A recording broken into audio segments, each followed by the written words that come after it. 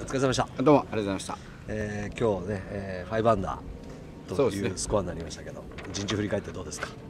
まあパターが入りまくりですね。うん。いきなり2番でオリンワンかなとかいうような球が出て、10センチぐらいついて、でそれで先にバーディーが来たからちょっと展開が良かった。そうですね。ねうん。まあこのコースの印象はどうですか。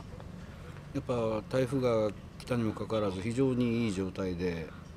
で今日はまあミスショットは結構ドライバーなんかあったんですけどうまいことフェアウェイに行ったからですね。うん。それがいいスコアに、まあ、パター良かったからですね、うん、やっぱりコースの攻め方としてはラフからだとやっぱ難しくなってくうる。ん。やっぱりピンの位置がやっぱり練習日と違って奥なんかの傾斜にかかってくると非常に難しいですね。はまああの5アンダーですけどもね、えー、最初ホール。い、そうですね。ね、えー、まあ言いにくいですがボギーになりましたけど、はあそこはやはりどうでした？もう一つこう伸ばしたいイい、メージうんから。だからちょっと手前まあ午前中の選手を見てて手前目だったからちょっと手前からぴったりをちょっと狙ったのが難かったかもわかんないですね。左のラフだったからうん残りエッジまで50ヤード70ヤードぐらいだったんですけど奥目でもいいと思って打てばよかったんでしょうけどまあめったにないことですからねちょっと緊張してね。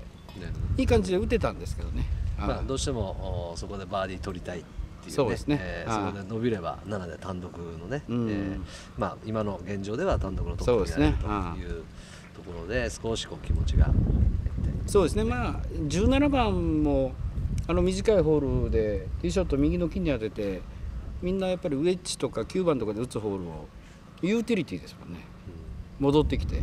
でフェアウェイから乗って5メーターぐらいバーディーとかそういうラッキーもあったからですね、まあ、17、18で、まあ、5アンダーでチャラかなというような感じですね。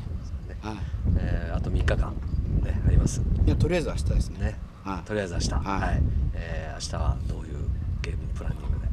あーまあ目標がまず予選通過という目標できましたのでそれをクリアしてからですねはい。そのあと2日間はそこからということそうですね。はい。はい、じゃあ明日も頑張ってください。はいありがとうございました、はありがとうございました。どうも。ありがとうございましたありがとうございました